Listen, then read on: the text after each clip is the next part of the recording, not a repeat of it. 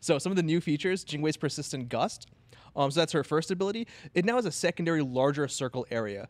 Um, so this doesn't hit enemies, but it allows Jing Wei to gain the buff that she would have normally gained from having to be self CC'd and knocked up. Yeah. So we do have game if we want to. Yes, I was let's about to say, let's Yeah. dive into it. Yeah, we can show It'll be it a all. lot easier There we go. So you see that first ability? It's kind of a double circle now. You've still got your normal persistent gust deployable at the center that'll knock up yourself, knock up enemies just as you would expect. But now you can be in this larger area uh, to gain that buff. You don't Getting the buff without having to CC yourself is a big change. Yeah, It's a that big change. So big. Right.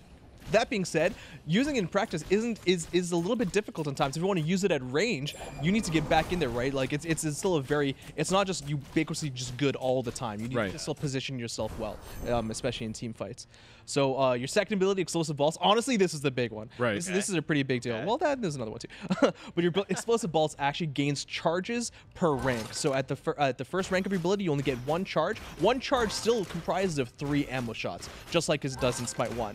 But as you rank that ability up, you can go to two ability charges and then finally three ability charges. So that means if you're if you're using them and you have all three ability charges, you can technically gain uh, nine explosive bolt shots all back to back.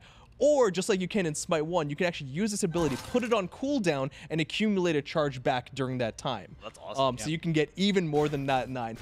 But not stopping there, because one thing that we didn't even write in the patch notes that are technically there too. So the third ability, I'm going to come back to that. Don't worry, it's a small segue. All right. Um, the third ability, agility. Um, the dash now actually has a little bit of a turning to it. So you can now, whether you're in the air or doing it from the ground, getting a little bit of turn left or right. Air control. Air control. You can kind of turn corners around that. You can do this from other gods' displacement effects as well. But it also gives you an ability charge for your second ability too. Oh, that's awesome. So multiple ways Well, of playing is that that only if you fire it off of the persistent gust, or every time you? Fire every time you fire it. So every On time you fire. fire You it, you're quick fire it. essentially like que- queuing up. So we kind of made that like secret load reload mechanic that Jing Wei had. Made it a little bit more intentional and more present throughout the kit. And uh, yeah, you can get those full nine explosive bolts, but you need to fire one, two, three ability activate. Yes. One, two, three. Exactly. You can't just go spam, spam, spam and queue up nine ammo. Yeah, Just, I- just like have to why one you would balance it out. sacrifice to each your charge. Yeah, right there. I ha- I spent two of my charges. I had one in the bank, and then I used my two, and I just went to three. I didn't get a fourth one. She's got a new passive meter that shows the pips on the bottom are the ch- ability, Ability charges, charges, and the birds in the top are the current ammo. Exactly. So one, two, three, press two, four, five, six. Press That being said, yeah. there's obviously balance knobs and, and, then like tweaks here and there.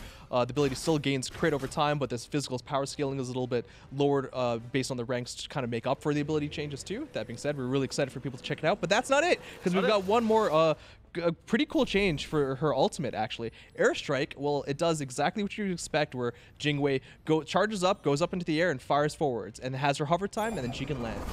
But if you time out the the ultimate uh, hover time, I'm just gonna wait for it. Just you chill. Actually, go backwards and do the entire dash again. Oh, you get so a cool. second alt. A second strafe. So you can fire this just like you always have. You don't have to be disruptive. Like a lot of times, people are just going to fire this, look for damage, and look to land right out the bat. Yeah. We didn't want to disrupt that. But now you have this whole extra element where you can mind game your opponent because they won't really know what you're going to do. This ability was getting really predictable in Smite 1. You can also just get more damage if you, um, or more immunity time by staying up there.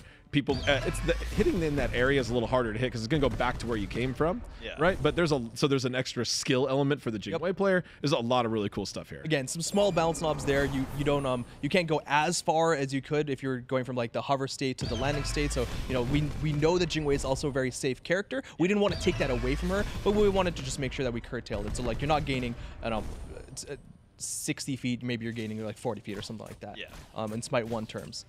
Uh, so yeah, everything. I think we're pretty excited with these changes. and yeah. feel you know breath of fresh air into Jing Wei and coming into Smite 2.